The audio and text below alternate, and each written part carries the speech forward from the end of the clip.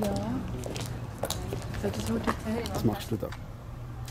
Das Fotoshooting für den Schwingerkalender. Und was ist eure Aufgabe? Gut ausgesehen, würde ich sagen.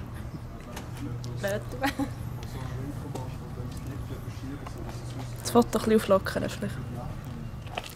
Und auch noch die Hand in den Rock hier.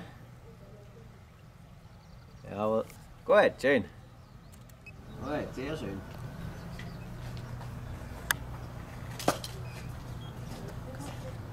Mal probieren, nicht zu lachen. Was ist eine Ehrendame? Eine Ehrendame ist ähm, eine Dame, die am, am Schwingfest, also am Eidgenössisch oder auch sonst, einfach für das Wohl der Leute und von den Schwinger schaut. Und ähm, für das schön Aussehen, aber auch für das Krönen. Also die hat verschiedene Aufgaben eigentlich.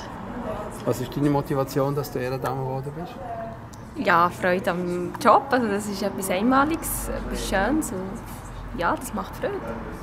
Es gibt die, die sagen, die sind nur sozusagen Schmuck, aber haben nicht wirklich eine Rolle. Was sagen die denen?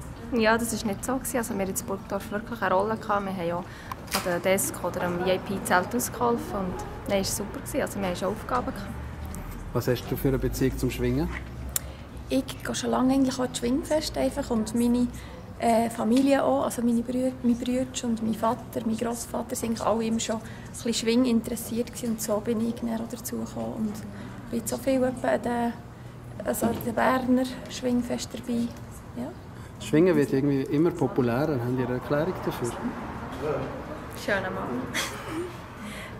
ja, also es ist sicher auch, was, also, ja, es ist so, es ist auch interessant, es ist ein schöner Sport auch.